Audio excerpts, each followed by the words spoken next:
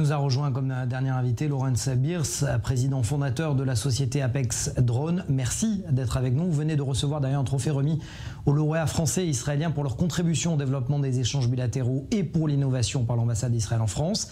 On vient de voir ce sujet. Est-ce que la menace des drones kamikazes iraniens existe aussi en Europe, Monsieur Birs?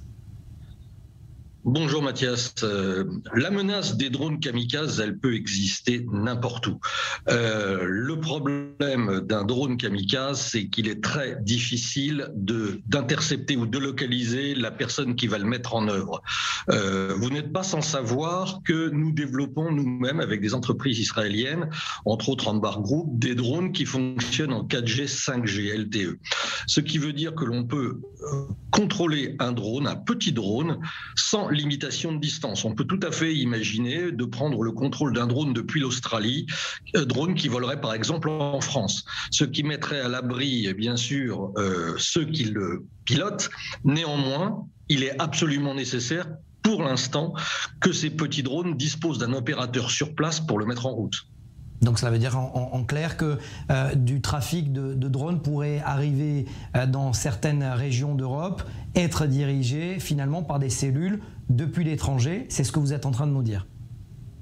Ah, sans aucun problème. Ça, techniquement, ça ne pose. C'est pas un projet, c'est quelque chose qui aujourd'hui fonctionne. Euh, mais un drone n'est qu'un vecteur. Euh, mmh. N'importe qui peut le mettre en œuvre et n'importe qui, n'importe quelle personne mal intentionnée euh, peut l'utiliser malheureusement à des fins criminelles ou pour transporter des charges ou, des manières illicites, des matières illicites, pardon. Alors, Monsieur Bierce, Racontez-nous comment est née cette relation franco-israélienne, la raison pour laquelle vous avez reçu votre, votre trophée. Bon, alors c'est une longue histoire. Euh, la société Apex Drone est installée sur la ville de Nevers, plus particulièrement sur l'aéroport de la ville de Nevers, et on était spécialisé dans les drones, aussi bien pour la formation professionnelle que pour du service de la prestation et aussi de la recherche et développement.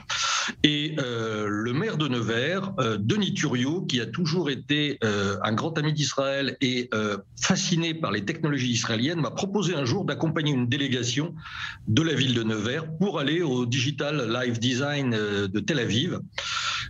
Invitation que j'ai tout de suite acceptée. Je sais qu'Israël est une est la référence dans le monde en matière de drones.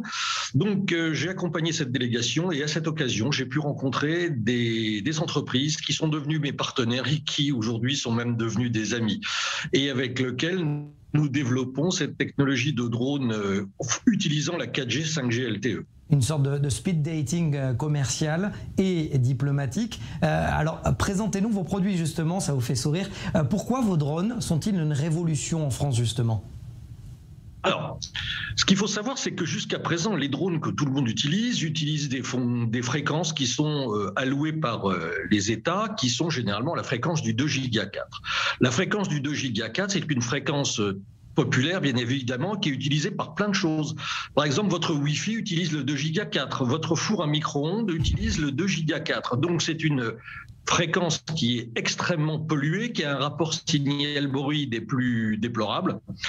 Bon, mais jusqu'à présent, c'est elle qui permet de faire voler des drones à des distances relativement correctes, disons pour un utilisateur lambda. Euh, la révolution de la 4G, 5G, LTE, c'est que là, cette limite de distance est abolie.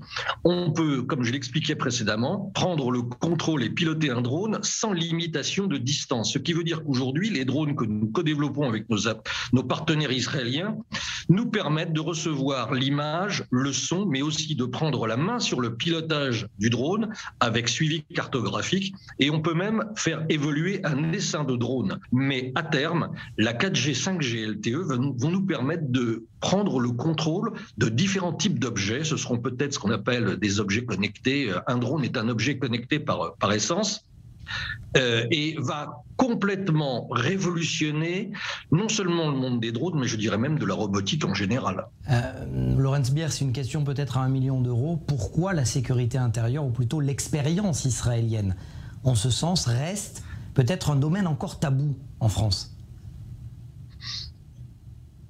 Ça, c'est une question un petit peu difficile, euh, difficile à répondre. En fait, si vous voulez, tout le monde reconnaît dans le monde des professionnels euh, que les Israéliens ont une, une expertise dans le domaine des drones qui est indéniable. Bien évidemment, cette expertise, aujourd'hui, elle est surtout orientée dans un domaine militaire. Euh, ce qui intéresse aujourd'hui, euh, je dirais, le consommateur français de drones, c'est avant tout une application civile.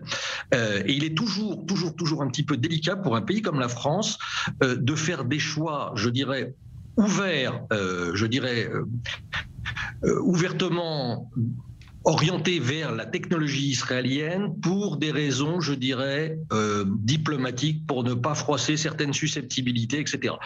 On sait pertinemment, et je l'ai vu, je le constate chaque fois que je me rends en Israël et que je rencontre des entreprises qui fonctionnent dans le drone, que les avancées technologiques sont de très loin, de très loin les plus avancées.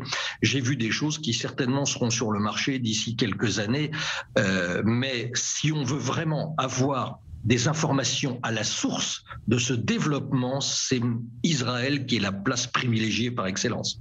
Eh bien, euh, merci d'avoir été avec nous justement et vous précisez bien, vous avez bien fait de préciser effectivement, Monsieur Biers, que vous êtes président fondateur de, de l'Apex Drone, que les technologies, certes, servent le militaire, mais certes avant tout le domaine euh, civil et peuvent bien évidemment aider le, domaine civil. On en parlait d'ailleurs la semaine dernière avec euh, notamment des, unités militaires de défense passive et de secouristes qui aident en cas de catastrophe naturelle.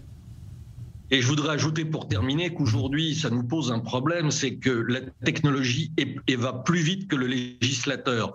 Donc aujourd'hui, en, France et en Europe, euh, on s'aperçoit que la technologie 4G LTE sur les drones euh, mais dans l'embarras, justement, le législateur qui s'aperçoit que la technologie va très vite.